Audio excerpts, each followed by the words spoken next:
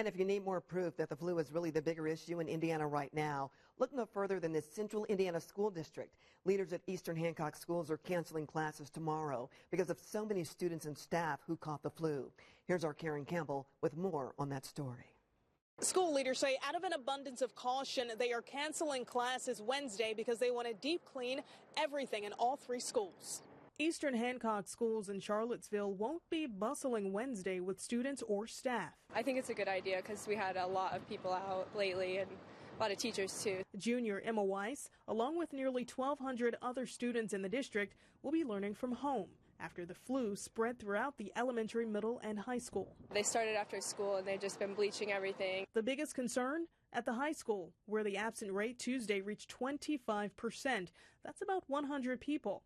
In an email to Eyewitness News, Superintendent David Poff said, quote, I cannot recall having an illness-based sickness rate that high in my 41 years. The illnesses range from bronchitis, strep throat, influenza A, and influenza B.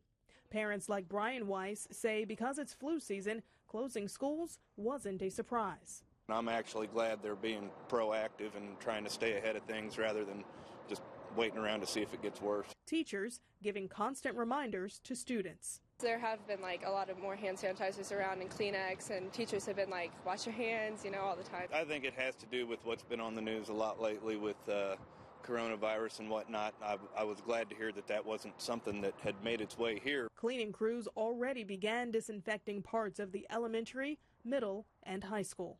And all activities scheduled for Wednesday, like those after school activities, those have been canceled. In Hancock County, I'm Karen Campbell, Channel 13 Eyewitness News.